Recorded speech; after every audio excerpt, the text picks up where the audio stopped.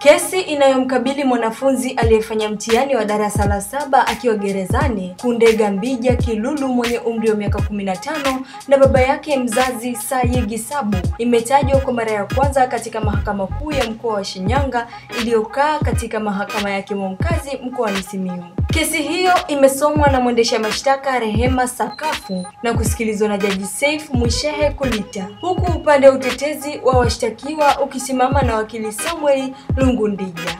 Kesi hiyo haikuweza kusikilizwa katika mahakama ya wazi na badala yake imesikilizwa katika mahakama ya ndani. Akizungumza na gazeti la Mwananchi baada ya kesi hiyo kutajwa, wakili Lungundija amesema kuwa baada ya kesi hiyo kusomwa, upande wa utetezi umetoa hoja kuiomba mahakama kubadilisha hati ya mashtaka kutoka kesi ya mauaji na kuwa kesi ya kuua bila kukusudia, na hoja hiyo imekubaliwa. Lungundija amesema hivi na mnukuu, mtoto amekiri kosa dogo na kwa mujibu wa maelezo yaliyotoka leo, mahakama imeshindwa kutoa hukumu dhidi ya mtoto kwa sababu ya kisheria, ambapo mahakama inasubiri taarifa ya ustawi wa jamii kuelezea hali ya mtoto katika jamii anayotoka, alisema Lungundija. Hukumu ya kesi hiyo inatarajiwa kutoka Novemba 10 mwaka 2021 baada ya kuwa taarifa ya ustawi wa jamii imewasilishwa mahakamani. Kunde Gambija kiluli ni mhitimu wa darasa la saba aliyefanya mtihani wa taifa akiwa katika gereza la Bariadi mkoani Simiyu akikabiliwa na kesi ya mauaji ambapo amefaulu kwa daraja B.